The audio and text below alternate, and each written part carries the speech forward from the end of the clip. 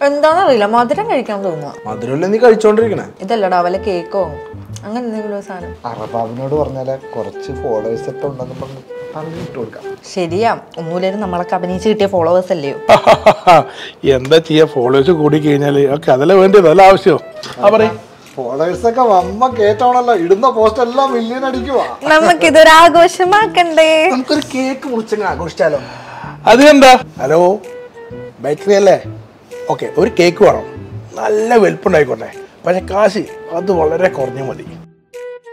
പ്രിയമുള്ളവരെ പ്രവാസ ലോകത്തെ നന്മ മരവും നമ്മളുടെ പ്രിയപ്പെട്ട അറബാബുമായ ഹനീഫ് കെയുടെ എഴുപതാം ജന്മദിനാഘോ സോറി ജന്മദിനമല്ല എഴുപത് കെയുടെ വിജയാഘോഷമാണ് ഇവിടെ നടക്കുന്നത്.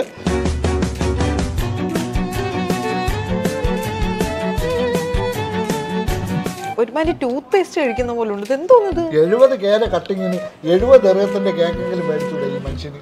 ആ നാല് ബിസ്ക്കറ്റ് വെച്ചാൽ ഒരു അണ്ടിപ്പരിപ്പ് പോലും ഉള്ളത് വായിൽ വെക്കാൻ കൊള്ളൂല നാട്ടും കാട്ടം പോലെ ഇരിക്കും ഏത് നേരത്താണോ അത് അടിപൊളി സൂപ്പർ. അടിപൊളി. അടിപൊളിയായിട്ടുണ്ട്. അകത്ത് വാനില ഉണ്ടോ? പിന്നെ ആര്? വാനില ആ വേദനയൊക്കെ ഉണ്ടോ? പൊക്കോ ഞങ്ങൾ കഴിച്ചോളാം. വേണോ കേട്ടോ എനിക്ക് ഇങ്ങനെ കേൾക്കണ നമുക്കൊരു സന്തോഷമാണ് അല്ലേ? കേട്ടോളൂ ഇതൊക്കെ എന്ത്? ഇനി എന്തെല്ലാം കാണാൻ കിടക്കണം?